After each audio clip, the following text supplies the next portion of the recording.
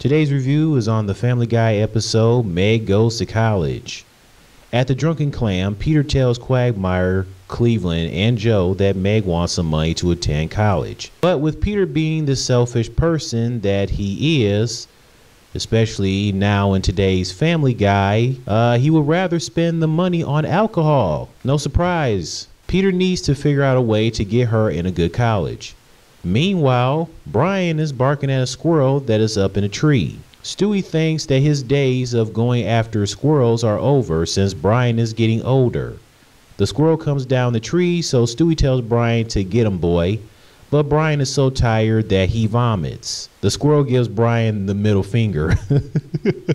oh man.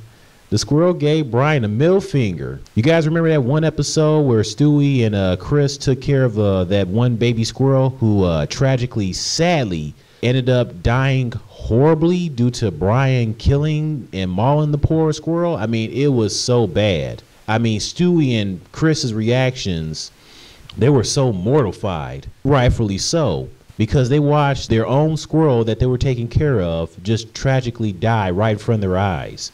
And Brian, I mean, he just mauled that squirrel with a passion. Like he didn't give a F. The way he was squinting his eyes with that that grrr look, like I hate squirrels. I hate them. Hate squirrels. Ah, you baby squirrel. I mean, it was that bad. I'm surprised Stewie and, and Chris never confronted Brian about that. But, anyways, um, Stewie suggests that Brian should get in shape with Stewie's trainer. So Brian goes for it. Peter and Lois end up seeing Principal Shepherd as Peter and Lois wanted to know what it will take to take to get Megan college. Peter takes his shirt off due to him thinking that he would have, have to sleep with the principal. Peter, are you serious? but Lois tells Peter that I'm pretty sure that's not what Principal Shepherd meant. But Principal Shepherd said that there are other options as he is shirtless and in his underwear. Uh, what the heck is going on? Seriously, what the heck is going on? what? Family Guy? what is going on? Why would Peter take his shirt off and thinking that Principal Shepherd was talking about having sex? Peter is straight. what? Oh, uh, okay. Anyway, that caught me off guard. Anyways, Meg ends up at Brown University thanks to a fake application from Principal Shepherd. Brian meets up with Stewie's trainer, who is himself. Stewie turns Meg's room into a gym since she is now in college. The workouts are not going well. Stewie gives Brian a card for his physical therapist. And I had a feeling it was probably to be Stewie. I just love the way Brian just knew. And when he asked Stewie, this is going to be you in another shirt, isn't it? And then all of a sudden, here comes Stewie. oh, Stewie, you're not fooling anybody. Brian knew it. I mean, the look on his face said it all. Brian was like, Stewie, you are unbelievable. Peter also attends Brown University with Meg. When he shouted to Meg, Heads up! Bam!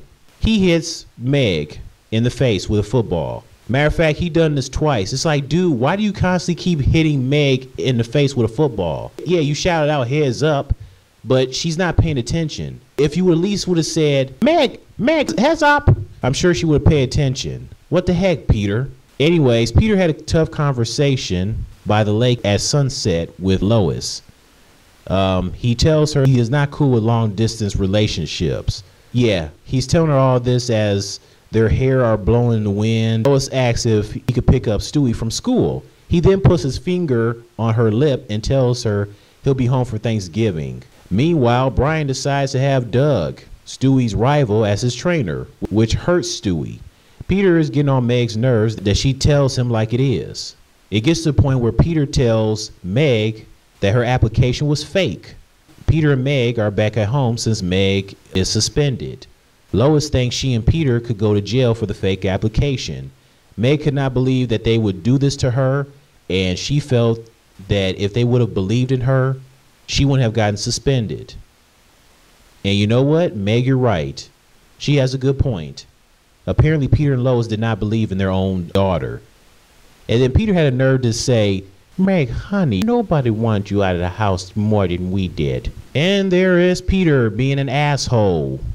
This is how Peter is nowadays in these new Family Guy episodes. This is the Family Guy character development, ladies and gentlemen.